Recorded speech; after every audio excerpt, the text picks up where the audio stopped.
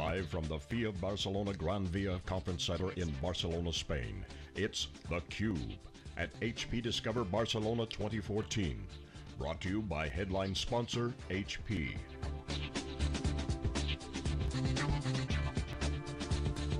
Here are your hosts, John Furrier and Dave Vellante. Okay, welcome back everyone. We are live in Barcelona for HP Discover 2014. This is theCUBE, our flagship program. We go out to the events and extract the signal from the noise. I'm John Furrier with my co-host Dave Vellante. Our next guest is Brent Allen, Group Manager at HP Converged Systems. Welcome back to theCUBE. Hey, thanks much. It's always great being here with you guys. Um, you guys obviously Converge. We heard the keynote from Antonio Neri. He's a Master Cube alumni. He's been on since Gen 8 launch in 2010, I think, Dave, or 2011. Um, Master and- Cube and- alumni, I love that. That's He's another with fantastic. Pat Gelsinger. Um, but he, you know, he, he, you know, he said something really awesome on the keynote, which was, you know, HP made a bet on converged, and it's Yeah. paying off. And then obviously the remote broadcast here with David Scott, uh, pretty impressive. So, um, Right, yeah. what's new? What's what's going on for you guys? Obviously, it's mainstream. Good call with the converged. Yeah, yeah, yeah, absolutely. Well, I mean, you know, uh, about every six months we have some pretty major stuff coming out of our organization. Uh, there was some great stuff back in June, but here, um, you know, December out at Discover, we've got some really big stuff. You've got uh, the Converged System 200 hyper-converged with Store Virtual that just launched. We actually have two of those platforms, um, two different configurations, one all hard drive, one with SSD, and, uh, you know, uh, regular spinning media as well. Um, we also have an update to our Converged System 700 platform, so that's our, our version 2 of that. That's coming out with uh, Gen 9 servers. Um, it's coming out with um, the new storage arrays uh, from, from the 3PAR side. Uh, we've got um, option uh, on the top of rack switching if customers uh, want it and need it to have uh, Cisco. Um, you know, so you got some flexibility in there that we didn't have before more than double size, tons of different you know options and, and features across the, the portfolio. And then all of that not only in virtualization but uh, extended to cloud as well. So we're putting the HP Cloud Stack on there with uh, HP Helion Cloud System. Um, and then you know we also have the uh, opportunity to drive partner um, you know enabled environments as well. So, So Cloud VMware Stack, as in the Cloud Stack alternative to OpenStack. So what I mean by that is the HP Helion um, Not OpenStack- Cloud Stack, Yeah, Cloud yeah, Stack. Exactly. Not the Citrix Cloud Stack. No, no. Okay, the stack, wanna- which, which we could actually put that on as well. If it was still around. But I guess, but yeah, no, eh, that's a great, great point. No, um, you know, we right Cloud now we Stack, have as in Cloud Stack. H, the software. stack of software that is um, you know, Cloud friendly stack, cloud enabled stack. there you go. So you got the HP Helion um, OpenStack side, right from our distro there, and then you've also got the enterprise-ready um, cloud system uh, side of the house. And you know, we see those things continuing to come more and more together, and, and it really rolls into a great package. It's pretty All right, seamless, So I want to ask you. So you got Sure. virtualization, right? and you got. Let- Let's talk in the context of infrastructure as a service. Sure. Right, So you got virtualization, you got cloud. So here, you know, here's where I was. Here's where I want, wanted to go. Right. And maybe I'm there, maybe I'm not. So Somewhere what in has the to middle. happen in between to get from here to here? What's the difference and what has to happen in between? And I Well, want to get into what I- HP's doing about it. I think that that's a great question because a lot of customers see the opportunity um, available through greater and greater levels of orchestration and automation, um, but all too often, not enough uh, attention is being paid to the actual infrastructure stack supporting the software. And it is a complete environment. You have to have both pieces of that, and you're only as good as your, you know, wherever your bottleneck is, right? Um, and, and so what we're doing and have been doing for a while is creating standardized infrastructure stacks that have everything together in that ecosystem and it's all balanced into a blob, right? And that can be hyper-converged. It could be, you know, as small as 2U um, with all of the elements baked in, or it could be like our 700 platform that can scale to many, many racks inside of just a single system, right? And um, you know, so either way, you have those balanced building blocks, and then you can start looking at layering on the software that you need as far as orchestration and automation capabilities to take you. You know, whether it's just basic service portal or you're actually wanting to get to the point where you're doing real-time chargeback in your environment. What do you What do you think are the headwinds to automation for customers? You talk to customers, and yeah, yeah, automation, love to do that, but Right. either we're not there yet, um, we just don't have the resources, or maybe the products aren't there. Talk about the headwinds, the barriers, and and, and, and, and how you're breaking those down. So I think that it's a natural evolution for a lot of customers. Now the end state's going to be different depending on who the customer is. Sometimes that has to do with um, the industry that they're in and maybe certain barriers that they have as far as legal barriers or security elements that they have to contend with. Um, and, and, I think that people are right to you know be cautious about that. Um, but the other side of it is quite often uh, customers, especially since most of our customers are virtualizing, if not you know 80, 90%, a good chunk of what they're doing um, they're already starting to bring automation in to some level in their environment. So it's not that they're not automating, it's a matter of what level of automation are they at, right? right? And the same thing is true with how they're doing the management of their infrastructure. Um, and so we believe that by simplifying all those pieces, by taking more and more of the brunt of that work onto the HP shoulders versus putting it onto the customer, we're able to help and ease that transition. Now, it does take time. It takes migration, it takes pathway to get there, right? Um, and customers are going to stop at various points along the way. That's why it's a journey, not just a destination, right? And, and I don't think that in the end, anybody's ever going to get to the point where they say, oh, Eureka, I have now implemented my Nirvana cloud and I'm done. I'm good. I, I got all the IT stuff done. I'm good. Yeah, well, that's, that's never going to happen, right? and so it's it, it is a progressive. I hope that never happens. We'll be out of the job. well, but but I mean, it's one of those things where it's a progressive motion, and so you can see what we've done with OneView, making that whole management of the infrastructure simpler. The tie-in from that into what we're doing with uh, our cloud software, right, uh, cloud system um, in that stack it just it helps that whole process. So, for example, a customer can take a Converge System 700, and even if they're not virtualizing today, we have a foundation version that doesn't even have a hardened virtualization stack in it, right? So they can start with that. They could go from that to a virtualized platform.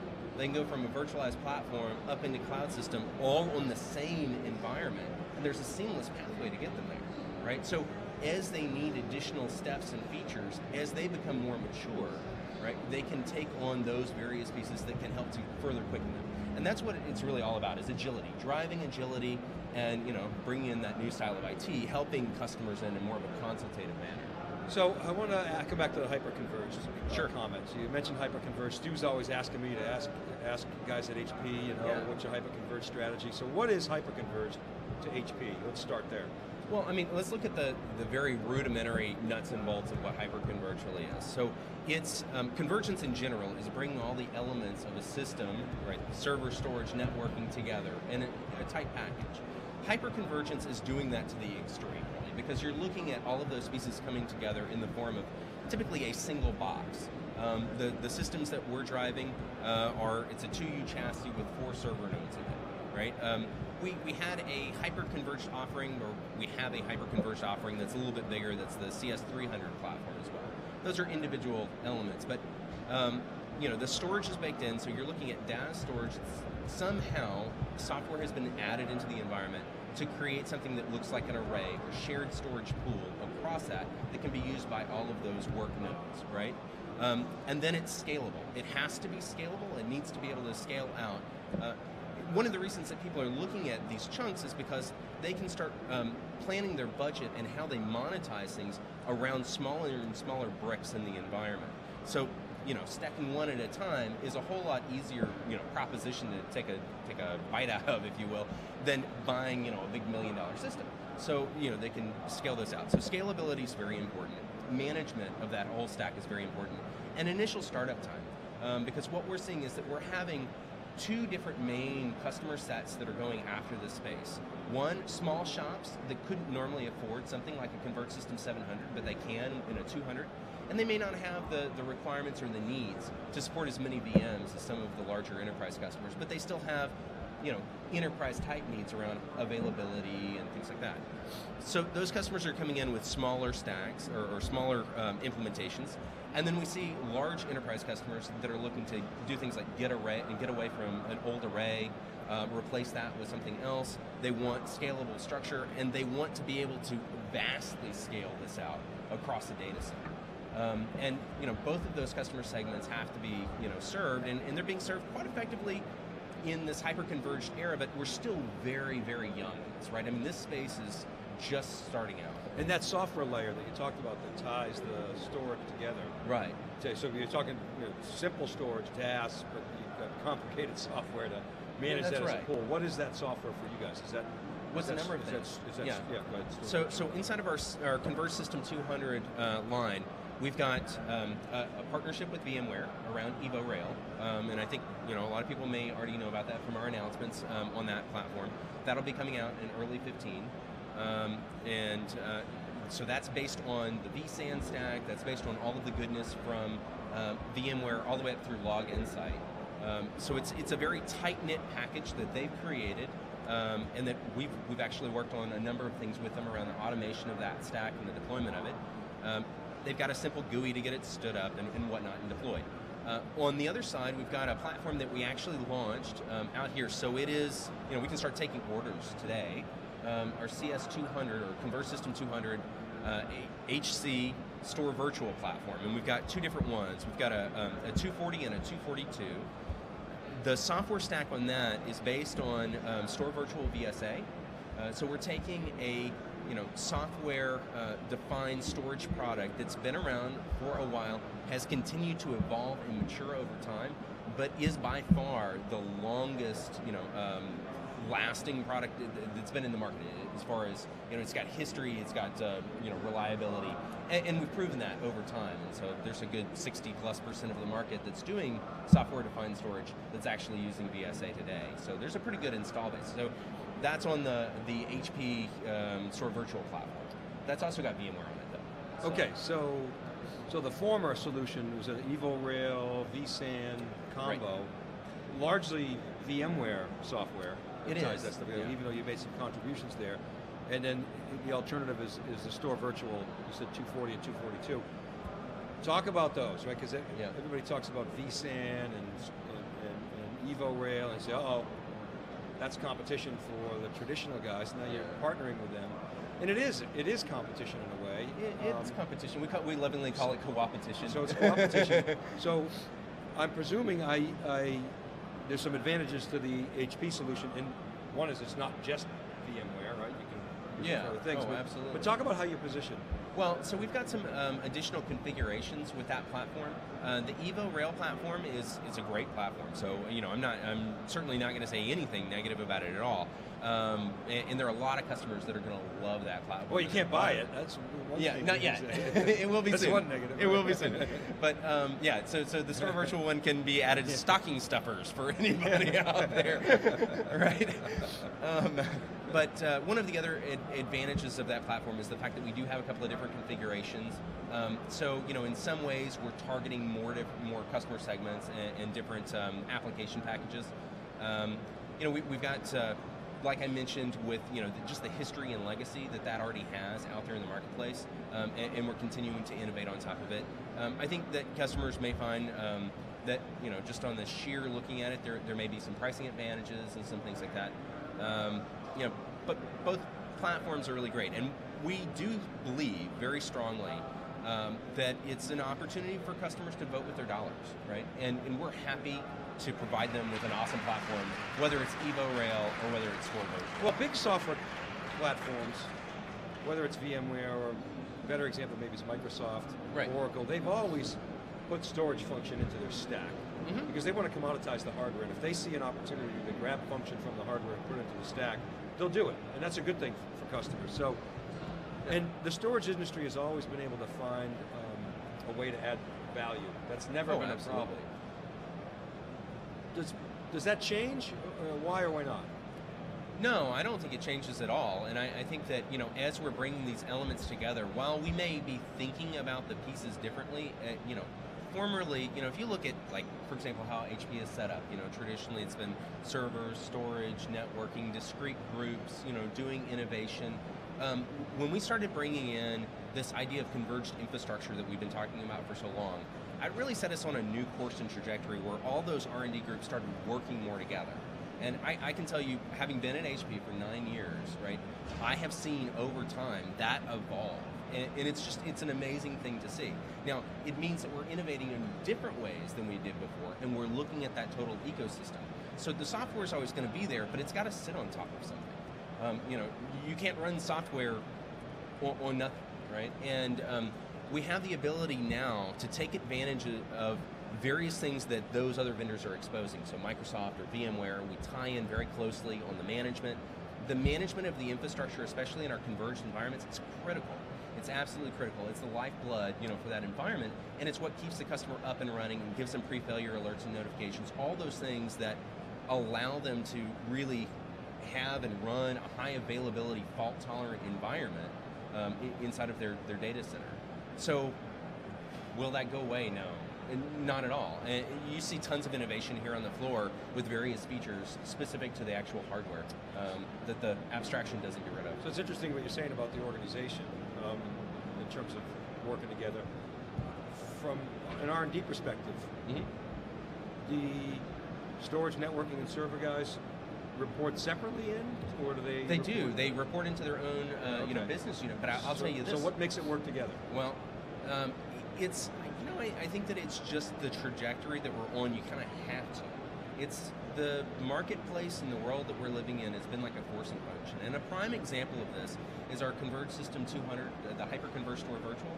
So that's a partnership between Converge Systems and HPSD, or HP Storage Division.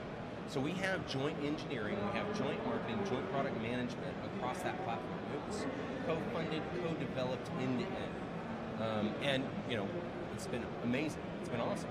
Um, and if you can get to the point where you have that dynamic of everybody rowing in the same direction, it's just incredible what you can get accomplished. Uh, and I think that's probably true of any organization, HP or otherwise. Okay, so uh, you've been at HP nine years. You see this whole converged infrastructure thing take take shape. Uh, you're seeing enterprises essentially trying to replicate the capabilities of public cloud on-prem. Right. Um, and that's a big part of what, what you guys are providing. You're seeing service providers pick up so they can compete with the public cloud guys. Right. So that's where we are today. Where do you see this going? What's the sort of summary of you know what the what the future vision is for your group? Well, you know, okay, that, that's a that's a great question. I think that um, we're going to see more and more commingling between the hardware and the software element. So I think that that's kind of a given. Um, those things are going to get closer and closer together. Um, we're going to see continued evolution of the management stack. Um, we're going to stop um, looking at individual pieces um, as we're managing the environment. It's going to start representing as an identifiable instance inside of the overall data center, and you'll be able to kind of pick and figure out where each thing is, move around resources, um, you know, more on the fly than currently is available today in, in active technology. But I, I think you know, I don't have a crystal ball. I wish I did. I, you know, this industry moves so good. fast. Um, I, I, think we're just on this continual evolution track, and hyperconverged is a prime example of it. Yeah, you know? yeah, that came out of nowhere. well, it it, uh, it, evolved out of actually it's not totally true, you know, um, because we've had VSA around for a while. Um, I, I, don't, you know, I know you guys probably well, know. You're right. Left Hand Networks right. was a company we acquired. Well, back years ago, before we acquired that, I was working in, in ISS or Industry Standard Servers as a product manager, and I launched a product called the DL180 and 185. Um, well, one of my biggest customers at the time was Left Hand Networks, who was developing the software yeah, stack right. to take DAS storage and turn it into a, a, standard. And I remember talking to people about this and having you know tons of people say, "Oh my goodness, storage virtualization? What is that? That doesn't even make sense." Virtualization is a compute-only thing, right? You know, it's just we continue to innovate and find new things, and I think it's very cyclical. And we just keep reinventing, you know. Well, with you know higher performance, you know, processors, oh yeah, cores, cheaper memory, flash storage, that all comes together. Those are really catalysts uh, for, they, for the whole they are catalysts. trend. Yeah. John. I'm just wondering if I can get a word in. Uh, sorry. I'm just checking my email, doing some crowd chat. Um, I was just telling Dave Box's CEO Ben Haynes got a new, has a, new job at Yahoo. So a little news out there breaking. Oh, there you go. Ben alumni, Haynes. There you go. Cube alumni, uh, friend Former of the Cube. Pabst Pabst Blue Ribbon to Box to Yahoo great, now? Great guys. So really making me want a beer. uh, the other guy's a Facebook friend also, but he's being charged with fraud with Netflix, but whole other story. Um, I don't know him. so, uh, in talking about, speaking of Yahoo and Netflix, right. hyperscale's huge. How do companies who want to be like them, um, enterprises, that's where convergence really makes sense, right? High Oh, I think converge makes sense everywhere, honestly. And I, I can, you know, I mean, we have tons of independent, you know, papers and whatnot that can explain the benefits of it. Um, you know, some of that just deals with, you know, the amount of time and money that it takes to initially deploy and set things up. People spend way too much money on consulting of trying to get it in and up and running and into the production environment. I didn't mean to imply that it's not Yeah. good for everyone. but but for those guys, no, I, I hear you. I think Yeah. um, you know a lot of times though, the ones that are really successful in the public cloud space are still buying hyper scale, not necessarily at this point hyper converged. Yeah, yeah, because Okay. they already got that mindset of like just buy and rip and replace when it breaks. Doesn't Yeah. really have that issue of We, refresh. we are starting to see more hosters that are turning around though and saying, actually, it does cost me money to rip that thing out, and I have to go send somebody in to do it. So if you can give me something that's not only cost effective but relatively self healing or you know whatever, then I'm not looking at ripping things out and chunking it and having to recycle you know and whatnot. I mean, So when it's a big David, so Dave, myself, and Stu Miniman were watching, uh, talking about this uh, specific point. I think it was Stu who made the comment about storage admins really have to start thinking about getting a job because it used to be this guy did that, server guy did his server Oh, thing, yeah. network guy does their thing. Oh, it's changed. With with hyperconverged, essentially, they got to manage a different set of, of new processes now or skill sets. Not so much skill set, but they got to port to a new way of managing. Well, I'm seeing What's customers. take on that- that? Oh yeah, absolutely. So I'm seeing customers in general. Now, most of the customers that I talk to are far away from actually achieving the vision there, um, but there is a big movement towards the IT admin generalist, right? Not not only reducing having a server, storage, or networking admin, and then you've got the virtualization admin and the cloud admin. You know, um, people want you know fungible resources that they can move around, and it can shift over time with the, the needs of the, the business. So, I you know there is that. I think that that really started to take hold with converged in general. When you get to hyper converged, it's another catalyst, right? It's another catalyst that's pushing this stuff forward, you know. So if you pick that up, now really you have kind of gone around, um, you know, having to have a dedicated storage admin and you know some of those things. You're getting to the point where it's simple enough to manage that you get somebody with a broad skill set that doesn't have to be super deep in one All right, so my final question is, we got one minute left. I want to get this out yeah, there. yeah, sure. Is okay. So obviously, it's a sea change for people. There's some benefits. Obviously, there's tons of research. You know, ping Brent later for with all that data, or share a link at the end. But I want to get to the impact. So pretend I'm a customer for a second. I'm a CIO, or you know, I'm a key mucky muck at a big enterprise or small, medium-sized enterprise. Right. Um, give me a paint a picture for the kind of change that it gives me. Right. Am I going to see cost reductions, revenue increases, staff turnover, we or, augmentation? What kind of impact Yeah, I looking at here? Just so- order of magnitude. You know, we've been talking for a long time with converged uh, infrastructure that there's this sort of um, 60 40 or 70 30 dynamic of the amount of time, energy, and resources that are applied to maintaining current data center environments. We've been talking about flipping that dynamic. We've been talking about it for a long time. With being able to bring in converged systems, we've actually been able to see that happen in customers' environments. And so I can sh- Actually flip the number from 60 40, some say 70 and- 30, Yeah, well, depending on whose math you use. yeah, so generally. Generally, yeah, but right, I mean, that but kind a, of order of magnitude. But, a big order of magnitude, and I mean, enough to make people fall out of their chair. enough, enough that we've had you know customers that come Yeah. to places like Discover and get up on stage at you know various you know things and talk about their successes. Um, you know, some very complex cloud environments that have been deployed, you know, with our converged system environments, uh, specifically the Converged System 700X platform. Um, Awesome. and uh, you know, so we're talking about, you know, we're still uh, on the track of what we were talking about before with what we call 2020 or uh, 2030, which is you know 20 minutes to be able to place an order and 20 days or 30 days to get it, depending on the platform, right? So there is a reduction in the amount of time that it takes to, to get up and running.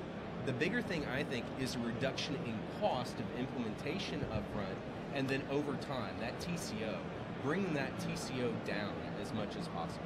And you know, so I've always said time for creative solutions. You know, managing that whole hassle factor. You take that away, more businesses solving problems and building new things. Oh, absolutely. So, so those those resources can then be put to, you know, implement in innovations. And everybody's got a long laundry list of things that they need to do just to feel like they're keeping up with the next guy. All right, so Brent, give, give, I'll give you the final word in the last uh, couple seconds here of the segment. Share with the folks out there what the main focus of the show is, where they can find information. Just Sure. give the plug. Yeah. So where you guys can go to look for more information, you can go to hp.com slash go slash converge system. Um, you'll be able to find all of our new announcements out there. You know, the big stuff, as we've been talking about, is obviously hyper-converged. It's uh, on everybody's lips out here. And, uh, you know, even before and after, I'm sure, uh, this show, uh, you know, we're going to be talking a lot about that. Um, additionally, uh, the 700 V2 uh, as well is um, is getting launched, and um, you know we have updates with OneView, so OneView 1.2, a plethora of different things to check out. You know, you can find all of the information out there on the website. Okay, we are live in Barcelona. This is theCUBE. We are live here in Europe, HP Discover 2014 Barcelona. I'm John Furrier with Dave Vellante. We'll be right back with more continuing coverage here in Spain. We'll be right back after this short break.